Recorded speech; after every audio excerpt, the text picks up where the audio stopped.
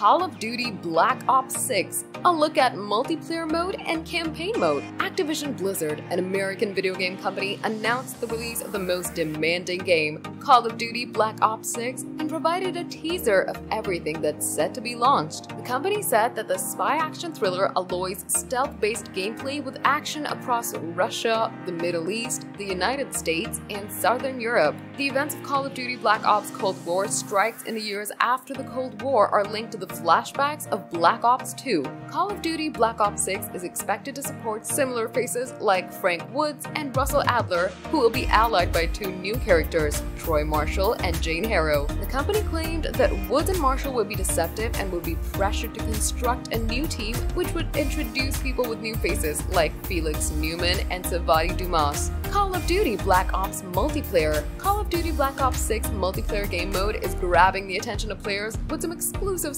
that find their route to campaign and zombie mode. Activision said that it's reconsidering movement across the whole game, allowing players to sprint, slide, and dive in any direction and mix them.